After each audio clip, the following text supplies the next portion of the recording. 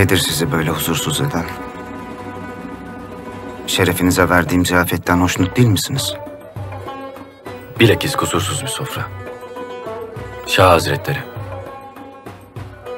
Beni karşılamanız, sarayınızda ağırlamanız büyük cömertlik. Bunu hak edecek ne yaptığımı merak ediyorum doğrusu.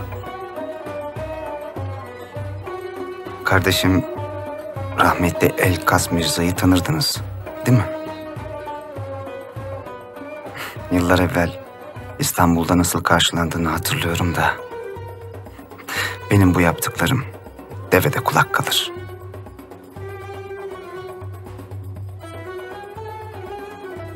Siz de onunlaydınız.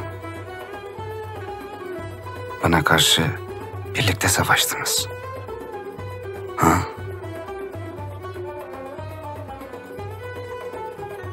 Anlaşılan vakit, intikam vakti. Hı? Bakın şehzadem. Kulağınıza küpe olsun diye söylüyorum. Bir hükümdar kararlarını alırken intikam, öfke, nefret gibi hislerle beslenmez. Düşündüğü tek şey devletinin âli menfaatleridir. Madem öyle, benim buradaki varlığımla ne elde etmeyi umuyorsunuz Şah Tahmasp?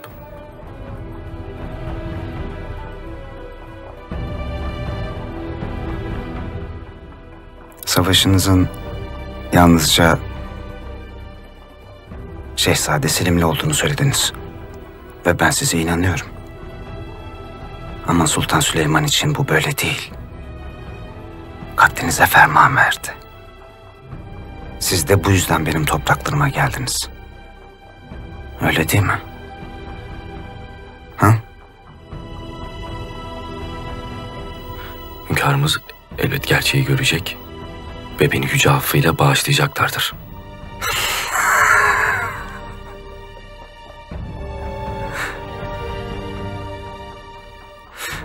Maziye bakın mesela.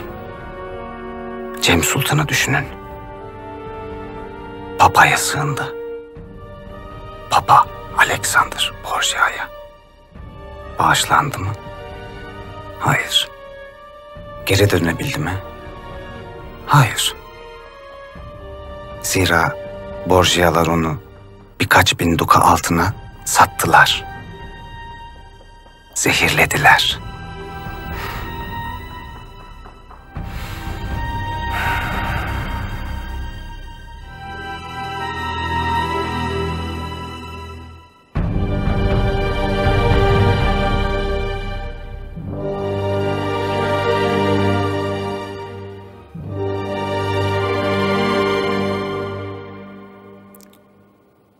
Şehzade. Karşınızda Safevi hanedanına mensup bir Türk hükümdarı var. Sapkın bir baba değil. Ben sizden yanayım. Burada, topraklarımda hürsünüz. Nasıl ki Sultan Süleyman, kardeşim Elkas Mirza'yı bana teslim etmedi, ben de sizi teslim etmeyeceğim. Asi kardeşiniz Elkas Mirza ile kıyas edilmekten hicap duyarım. Zira ben bir hükümdara isyan etmedim. Şartlar oluşunca topraklarıma geri döneceğim.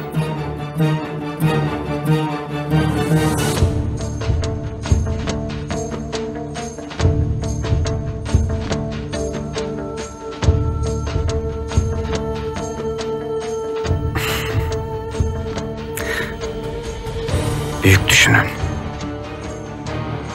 Sultan Süleyman epey yaşlandı. daha genç ve cengaver bir Osmanlı hükümdarını Osmanlı kulları ve askerleri rahatlıkla kabul edebilir. Birlik olalım şehzadem. Sultan Süleyman'ın üzerine yürüyelim. Şah damat.